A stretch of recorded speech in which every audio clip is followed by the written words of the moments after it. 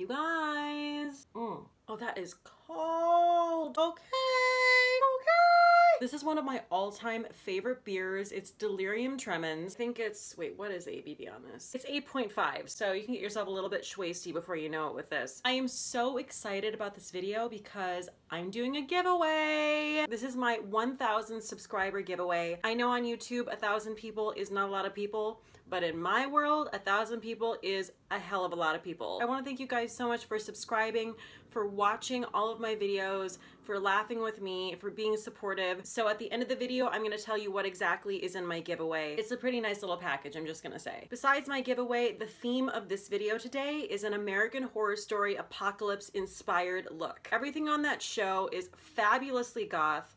There's lots of purple and black already a little bit drunk. So I'm gonna do this video sort of like in a get ready with me style. I have a bare face, I just moisturized. I'm going to use my Fenty Pro Filter and this is the color 150. I'm gonna mix a little bit of my Charlotte Tilbury Light Wonder, which is a really nice dewy light foundation. Give me something in the middle of matte and dewy. Just using my beauty blender to pat that into my skin. How are you guys feeling about this season right now? I feel like it's a little bit of a mess. Murder House was my favorite season, point blank. I love that it was like set in modern day, but it also, you know, went back to all these different time periods. Give me a possessed house and I will watch that shit all day and all night, okay? I feel like they're trying to bring back too many seasons of American Horror Story. There's Hotel, there's Coven, there's Murder House. All of a sudden we stepped away from goth Sarah Paulson for like two episodes and I need her back right now. Sarah Paulson could honestly wear a gunny sack and walk around just phoning in her acting constantly and I would be here for it. What is it about her? She's magical. I'm gonna go in with my ColourPop No Filter Concealer. This is the shade Light 12. Also, is anyone noticing how gaunt Kathy Bates looks? She is wasting away. I mean, honestly, she looks as good as somebody possibly can who's basically playing a robot and is giving me just really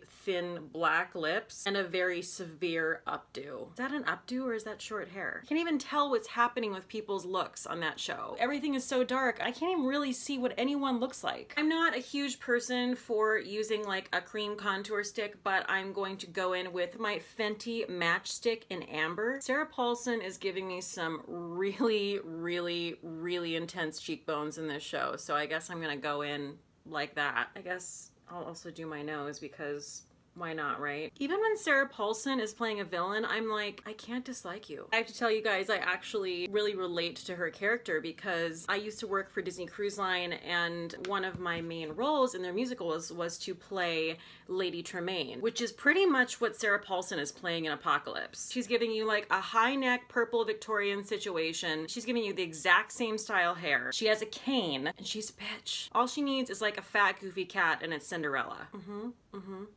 I'm gonna go in with my Glossier Cloud Paint in the color Storm. You can see that is just like a really perfect shade for fall and winter.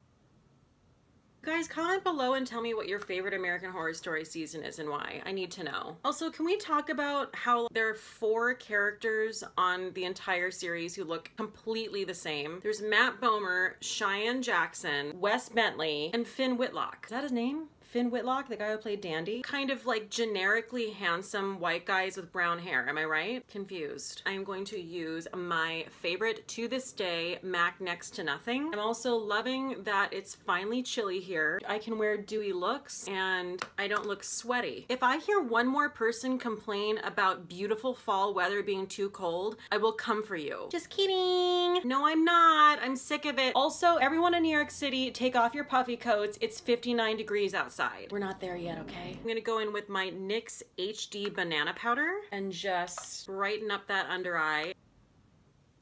I'm gonna use my ColourPop Brow Boss pencil in the color Bangin' Brunette. You guys, I just watched Scream for the first time in years. You guys remember when that movie came out? I think it was 1996. I was in middle school. Watching it now was super fun, but it is a little bit problematic. I find myself watching so many movies that were made really any time before, you know, two years ago, and I'm like, that's how you're gonna depict women?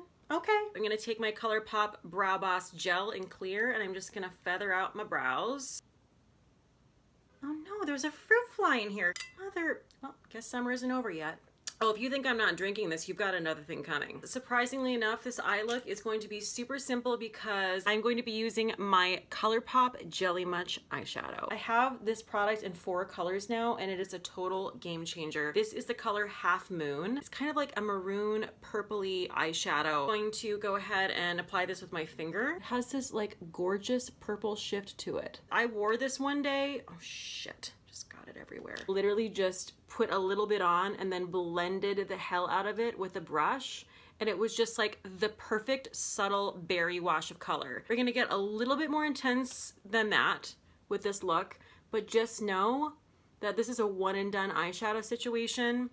There's no creasing. It's not gonna make your eyes look crepey and old. So I'm taking this a little bit above the brow bone. I'm just gonna go in and blend that out with a fluffy blending brush. Oh, it's so pretty. It honestly is so workable. It blends so well. It doesn't dry down super fast. Hold on a second, I'm gonna take a drink. I'm gonna go in with a flat eyeshadow brush and I'm going to take that same Jelly Much color. I'm gonna do right underneath my lower lash line. Love products like this because there's no fallout. Honestly, sometimes I wonder why I even own powder eyeshadow. We're almost like rimming the entire eye with this.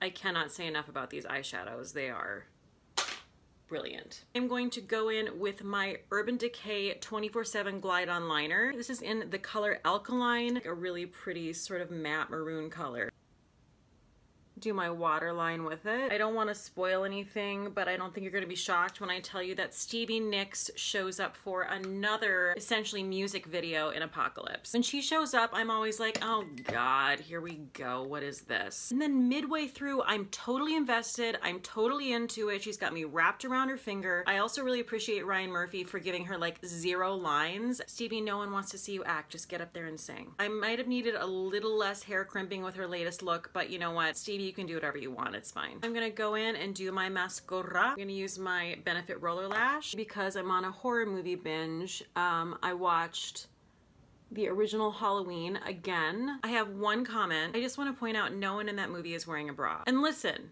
I'm all for a no bra situation, okay? If you can get away with that and it's comfortable for you, you better live your damn life. The beginning of Halloween opens up with Laurie Strode, played by Jamie Lee Curtis. Love she is wearing a straight up knit turtleneck with no bra.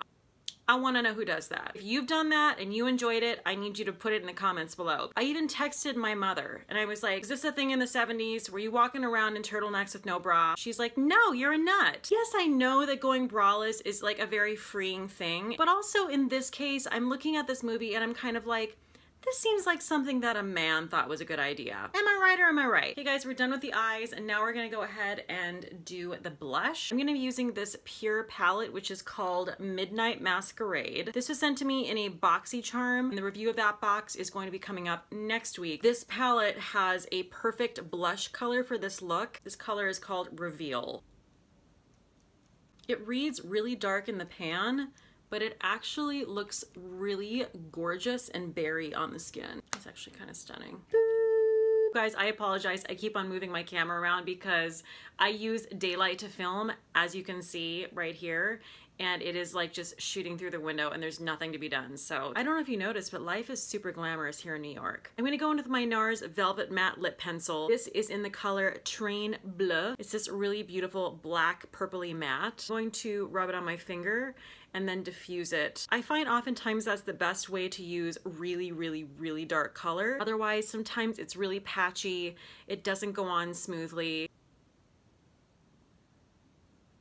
I always feel like that's just a much more wearable look, especially if you're going out, you're having drinks, you're eating, breathing, you know, like a human being. You can really change the nature of a lipstick with how you apply it and what you apply it with. Because it's diffused and there are no hard lines, it actually gives the illusion of your lips looking bigger than they actually are. I'm gonna, you know, be a little extra and use some highlight. This is my Essence Pure Nude Highlighter in the color Be My Highlight.